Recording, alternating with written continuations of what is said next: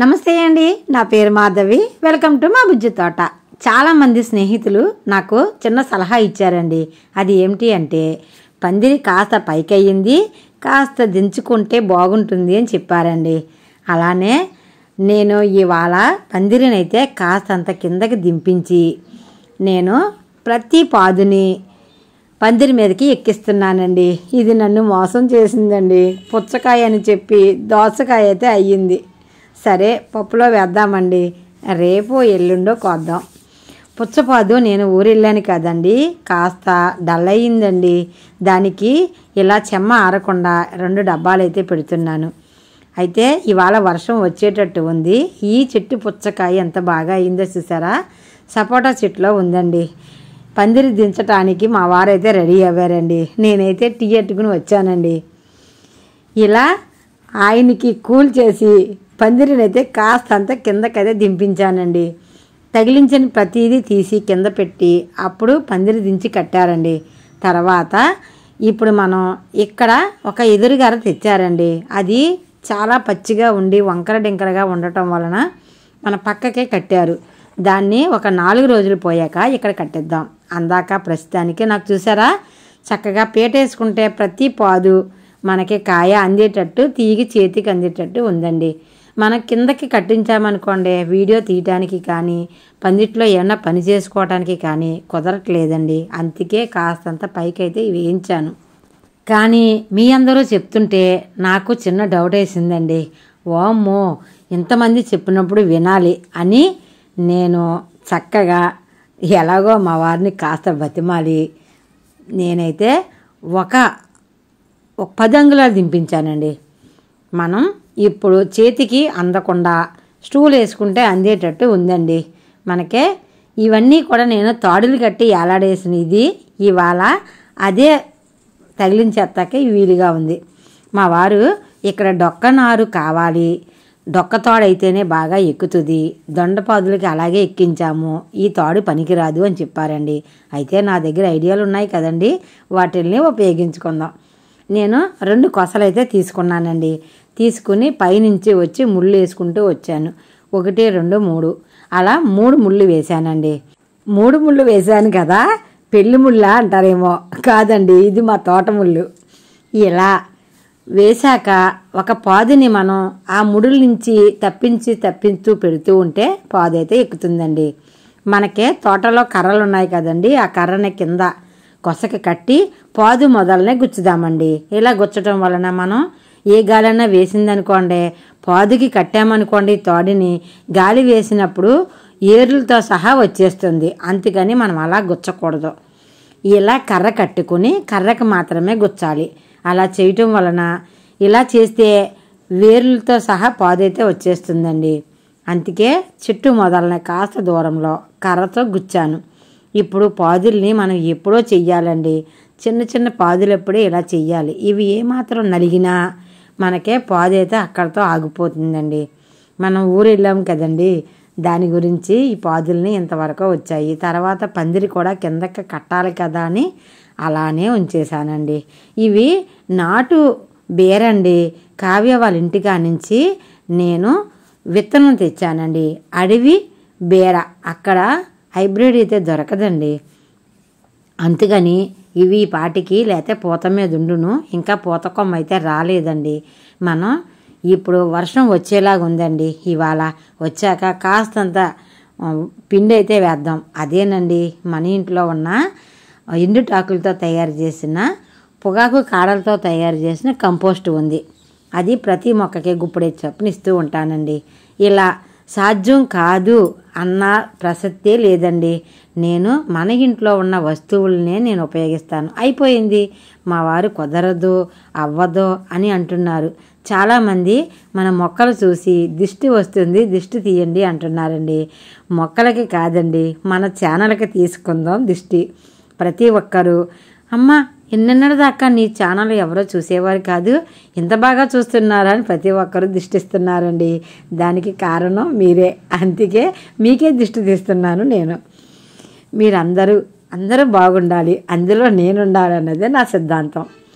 ఇలా ప్రతి పాదిని చక్కగా వేసామనుకోండి ఇంచక్క మన పందిరంతా కూడా పాకుతుంది. కోతులు వస్తేనట్టండి ఒక ఫ్రెండ్ సలహా చెప్పారండి. కోతులు వస్తే ఏమన్నా పళ్ళు కానీ లేదా అన్నం కానీ పెట్టండి. అప్పుడు ఇంకా రావు అన్నారండి. ట్రై చేద్దామండి. మీలో ఎవరికైనా అలాంటి ఇబ్బంది ఉంటే ట్రై చేయండి.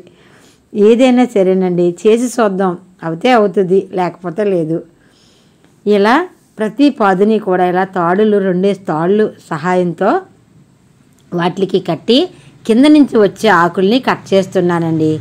మీకు తెలుసు కదా సూర్యరశ్మి వచ్చిన ఆకు ఆహారాన్ని తీసుకుంటుంది. తగలని ఆకు. ఆహారాన్ని తను తీసుకుంటుంది.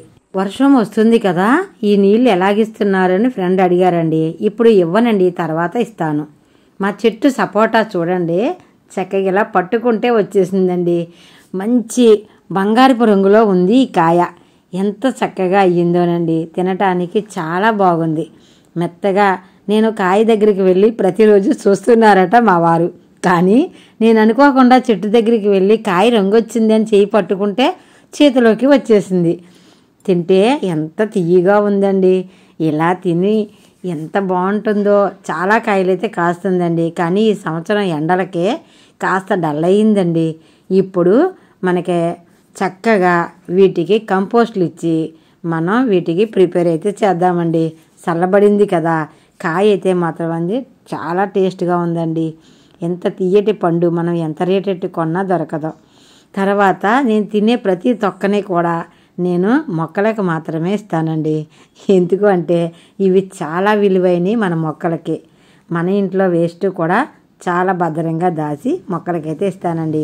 కావ్య వాళ్ళ ఇంటికాడ కూడా నేను ఉన్న నాలుగు రోజులు చక్కగా వచ్చిన ప్రతిదాన్ని కూడా మొక్కలకి అందించానండి. ఆ వీడియో మీ అందరూ చూశారు.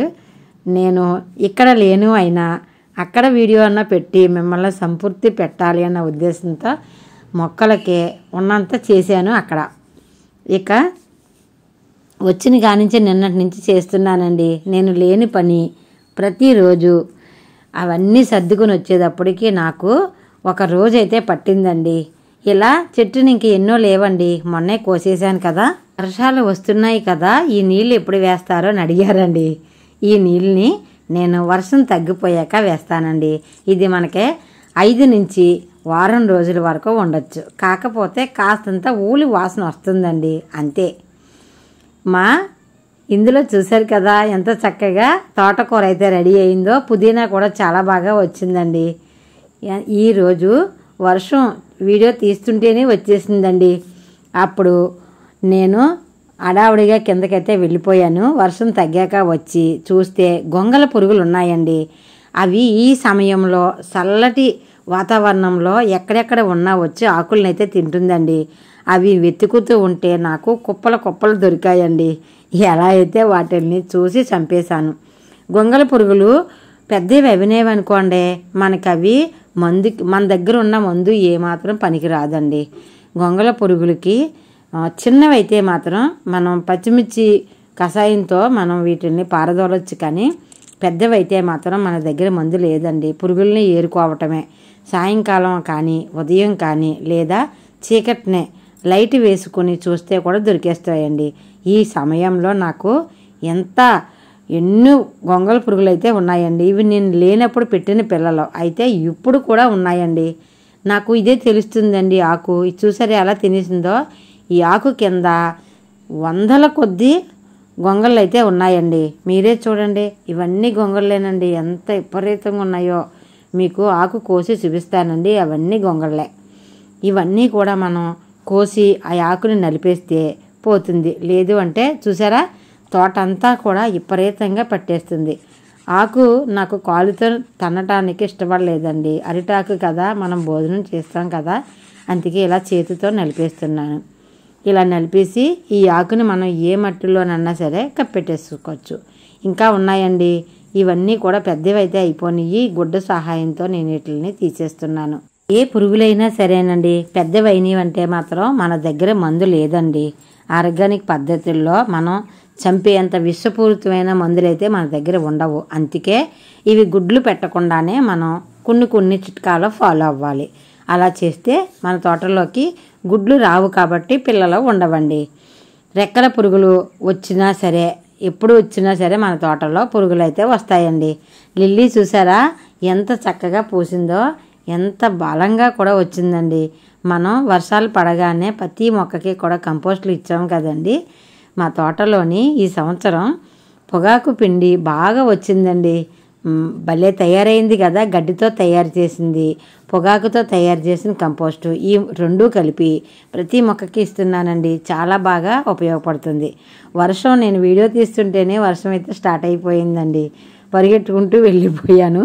తర్వాత తగ్గాక వచ్చి వర్షం వచ్చినప్పుడు కూడా మా తోట ఎంత నీట్గా ఉంటుందో ఎంత శుభ్రంగా ఉంటుందో చూస్తారని మనీ వర్షం తగ్గాక వీడియో అయితే చేశానండి.